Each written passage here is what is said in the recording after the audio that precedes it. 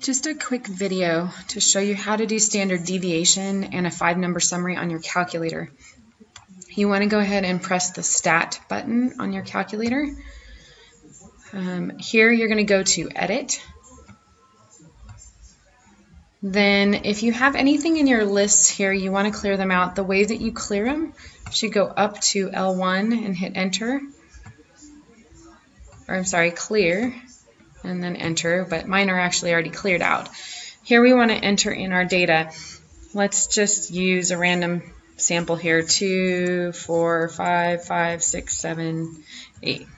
And let's say we want to find the standard deviation of that set of data and the five number summary. What we're going to do now is hit the stat button,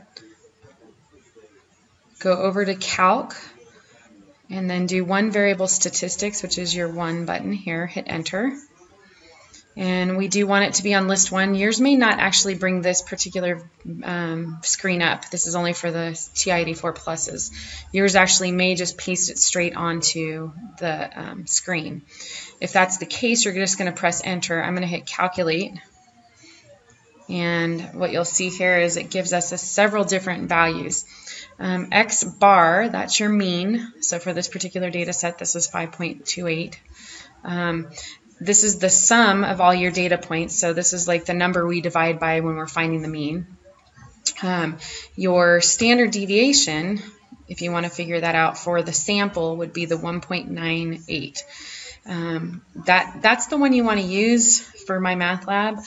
Um, occasionally you have the entire population and that's what the sigma of x is, is your, is your standard deviation for the population. But for our purposes, we want the standard deviation just for the sample, and that's what we're going to be using. Now you can see there's an arrow key here. We want to move down by hitting the down arrow. And then this actually, um, if we keep going down, will give us our um, five number summary. You've got the minimum, the quartile 1, median, quartile 3, and then we have the maximum. So we actually now have all five number summary there as well. So you can find the median and your quartile 1 and quartile 3 here as well.